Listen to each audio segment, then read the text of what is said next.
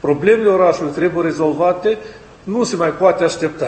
Așadar, pe lângă cele două dispoziții de numire a viceprimarilor, am semnat și o declarație prin care am anunțat că mă retrag din funcția de primar interimar. Voi rămânea în continuare viceprimar atât timp cât va fi nevoie de cunoștințele și experiența mea. Accentuez că în dispoziția de numire a viceprimarului Silvia Radu este menționat că anume ea va asigura interimatul de primar general în caz de absență sau imposibilitate de exercitare a funcției. Asta în condițiile în care și Ruslan Codreanu a semnat o declarație prin care refuză să exercite interimatul de primar general.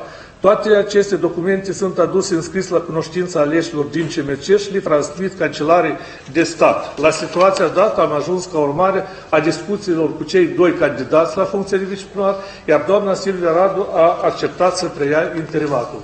Optim și aceste declarații.